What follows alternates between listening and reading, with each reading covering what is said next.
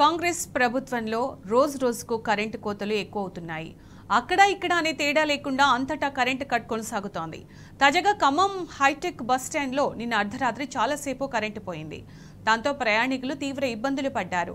Bus లైట్ల వెలుతురు మధ్య ప్రయాణికులు దారి వెతుక్కుంటూ వెళ్ళగా మరికొంతమంది సెల్ ఫోన్ లైట్ ఆన్ చేసుకుని తమ బస్సు దగ్గరకు వెళ్ళారు.